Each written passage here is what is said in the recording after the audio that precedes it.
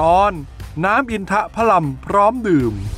ปัญหาผลผลิตทางการเกษตรล้นตลาด แก้ไขได้ด้วยการนำไปแปรรูปครับ การแปรรูปสินค้าเกษตร ให้เป็นผลิตภัณฑ์ใหม่ ที่ตรงกับความต้องการของผู้บริโภคนั้น นอกจากจะช่วยลดของเสีย จากปัญหาผลผลิตล้นตลาดแล้ว ยังช่วยเพิ่มมูลค่าให้ผลผลิต และสร้างรายได้ให้แก่เกษตรกรด้วยครับ บริษัทโกหลักจำกัด ร่วมกับโครงการ i t a b สวทช พัฒนาผลิตภัณฑ์และกระบวนการผลิตน้ำอินทะพลัมพร้อมดื่ม โดยมีผู้เชี่ยวชาญจากมหาวิทยาลัยแม่โจ้เป็นที่ปรึกษา และให้คำแนะนำด้านสุขลักษณะการผลิต ตั้งแต่สภาพแวดล้อมในการผลิต จนถึงการยื่นขอรับใบอนุญาตผลิตอาหาร และได้เครื่องหมายออย ในปี 2559 บริษัทได้ขอรับการสนับสนุนเพิ่มเติม ในการจัดทำโครงการ การจัดทำระบบ GMP Codec โรงงานผลิตน้ำอินทพลัม จากบริษัท PK